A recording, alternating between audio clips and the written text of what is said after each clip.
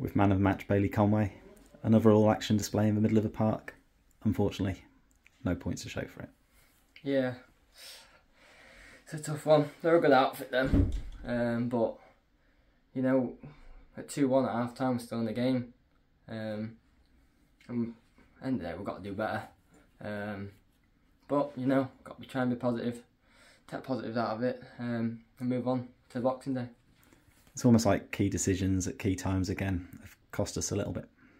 Yeah, yeah, they need. It can't keep happening.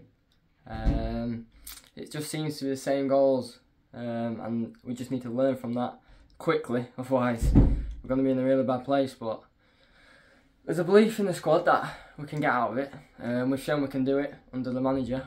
Um, just got to get back to it. Is it almost just a little bit of luck now? We need to see the tides turn again. Yeah, yeah. I don't care if it's you know just one of them scruffy goals to make it one 0 and you you nick a one 0 but to, to do that, you need to stop conceding three goals um, every game. Cause you need to score four, and it, you're not going to win a game when you need to score four goals. So, you know, still be positive, um, and we'll go. An outstanding piece of defending on the 12 minute mark where you chased down their top scorer, Kane Drummond. Talk, Yeah. talk us through it. Yeah, yeah. To be fair, it shouldn't get to that point. We need to need to lock out better.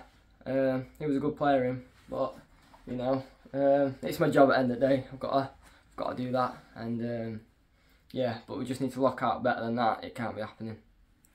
But the side did rally in the second half. Unfortunate that we did concede the third goal, again making it difficult. But you could see the determination in the lads to try and turn the game. Yeah, the, the lads in the squad have got great attitudes. You know, um, we knew when we were coming out second half that the wind were, with us. Um, we could put them under pressure and get after them. Um 'cause because it were a kind of a game of two halves, like like it has been recently in, in most games. Um, but yeah, just that third goal's killed us. Um, it's not good enough um, from our part. You know, someone's got to take responsibility.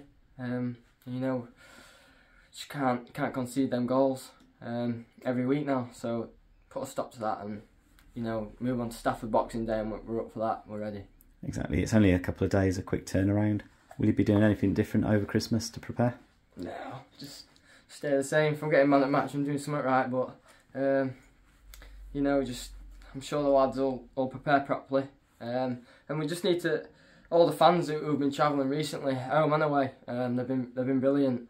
Um, it's been amazing to see see every fan come down. Um, it's the same faces you see every week. Um, so we really appreciate that. Hopefully, get down to Stafford and can get three points and move, start moving up the table instead of looking down. And then it works out on New Year's Day. Yeah, looking forward to that one. To be fair, be tough, but they're a good side. Um, but I'm looking forward to that. I Can do it. Brilliant. Merry Christmas, mate. You too. Bailey. Merry Christmas.